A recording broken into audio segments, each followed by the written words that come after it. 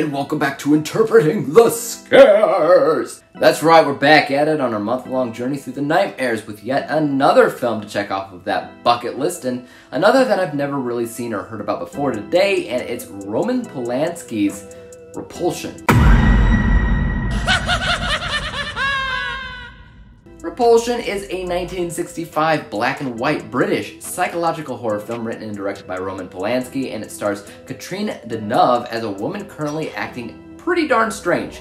She's drifting off, she's having nightmares, she's experiencing hallucinations and past trauma, which is slowly but surely pulling her into a dark, dark place where she's not fully understanding or comprehending the ramifications or seriousness of her own actions. This is definitely a film that you can watch and immediately say, yeah, they really just don't make movies like this anymore. But is that a good thing or a bad thing? Truthfully, for Repulsion, I think that it's a mix of both. I'll start with the aspects of the movie that feel genuinely strong, like a lost art, and that's its approach to horror itself.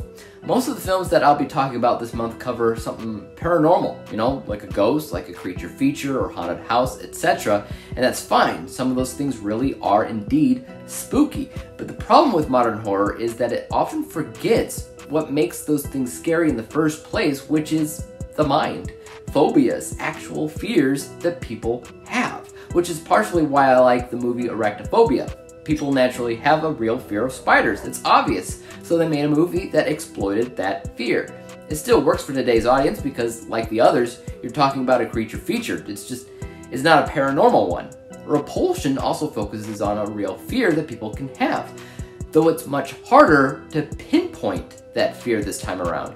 You have a leading woman who has an irrational fear or repulsion of a few different things, but one of the main ones is men and their natural growing fondness of her, and she's just, she's not having it. Part of this is honestly very relatable for women when it comes down to men objectifying them as a whole. And the more that you think about that, the more you might be able to understand this film as a metaphor of the things that women actually have to deal with on a daily occasion.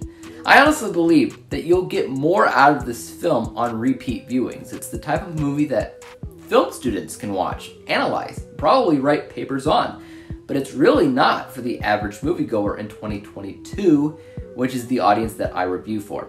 The reason why I say that is because it's a film that literally has no exposition. I've said it before, I'll say it again.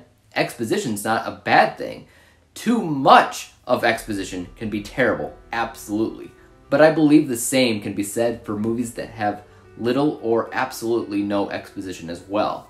You need it. You gotta be just right, Goldilocks, and Polanski just seems to be the kind of director that likes to toy with the confusion that audience members have, and he just kind of dials that up a notch. I remember watching Rosemary's Baby thinking somewhat similar, and I wasn't a huge fan of that movie either. Repulsion mostly intrigues and surprises me with its ideas and concepts, and I was honestly pretty darn impressed with the execution.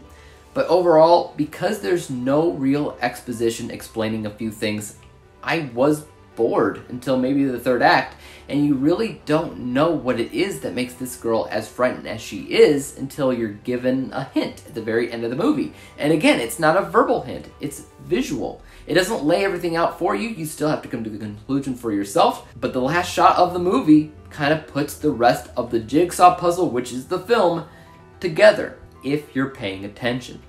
I've seen people say that this movie is a masterpiece, and I will not fault you for that if you believe that. I understand where you're coming from. It strays away from the typical approaches fear, like movies really should still do today. And it's even relatable for certain women. But I think the execution, primarily in the first and second act, isn't clear enough for modern audiences to follow. And I can 100% see people turning it off because one, they don't get it, and two, they're getting bored pretty quickly. Yes, there's an overwhelming atmosphere of confusion and strange behavior coming from this woman, but it's not enough to light the embers of your enthusiasm, in my opinion. As a film lover, I do appreciate what was being done here, but as a general audience member of 2022, certain things don't translate as well. If it were being remade today, I guarantee it would be very different than what you see here, which again, is a mix of both good and bad. Would I watch it again? No, at least not for entertainment purposes, but I could see turning it on again as a project to study or write papers on. But because I wouldn't rewatch it again just to watch it, I don't find much entertainment value in it. Which also means I won't be buying it. I won't be putting it on a birthday or Christmas wish list. I won't be recommending it to others or whatever. If you're a film student, go crazy. There's stuff to learn in this movie to be sure.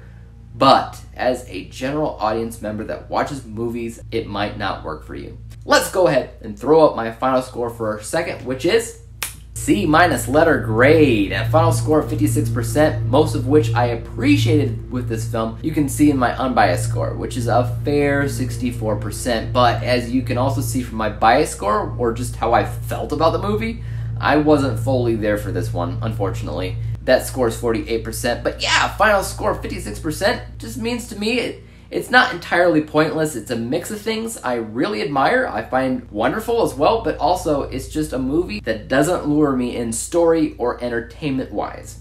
But take that as you will, and let me know what you thought about Repulsion if you saw it. And what is your favorite Roman Polanski film? As for YouTube, you guys know, do hit the like, hit the subscribe button, hit the bell to be notified when I come out with my next review. And whenever that is, peace out!